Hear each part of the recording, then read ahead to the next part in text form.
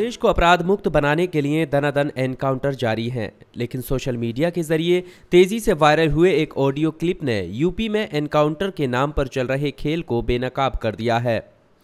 एक history sheeter और police अधिकारी के बीच की बातचीत के ऑडियो से खाकी और गुंडों के बीच साठगांठ का पर्दाफाश हो गया है। कुछ ही दिन पहले झांसी में लेखराज और पुलिस के बीच मुठभेड़ हुई थी। करीब आधे घंटे की फायरिंग में लेखराज अपने साथियों और बेटों के साथ भागने में कामयाब रहा था। इस एनकाउंटर के बाद माऊरानीपुर थाना प्रभारी सुनीत कुमार और हिस्ट्री शीटर लेखराज के बीच टेलीफोन पर बातचीत हुई। इस बातचीत में साफ़ सुना जा सकता है कि पुलिस अधिकारी हिस्ट्री शीटर से कह रहा है कि सरेंडर कर दो, नहीं तो मार दिए जाओगे।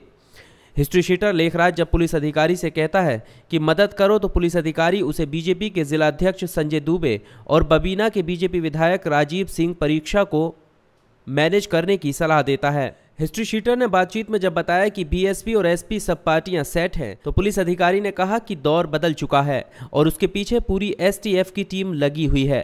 पुलिस अधिकारी ने सीधे सीधे कह दिया कि अगला नंबर आपका है।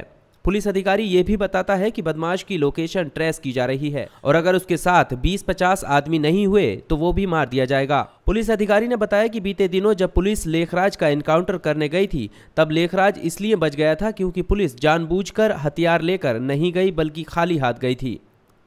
वायरल हुए इस ऑडियो ने मुख्यमंत्री योगी आदित्यनाथ की पुलिस द्वारा किए जा रहे एनकाउंटर के तरीके पर सवाल खड़े कर दिए हैं। सवाल उठने लगे हैं कि क्या योगी की पुलिस एनकाउंटर को भी मैनेज कर रही है? क्या पुलिस अपनी मनमर्जी के मुताबिक जिसे चाह रही है उसे ठिकाने लगा रही है और जिसे चाह रही है बचा ले रही है? क्या यूपी हिस्ट्री शीटर एनकाउंटर में अपनी जान बचाने के लिए नेताओं को खुश कर रहे हैं? कम से कम इस बातचीत से तो यही नज़र आ रहा है।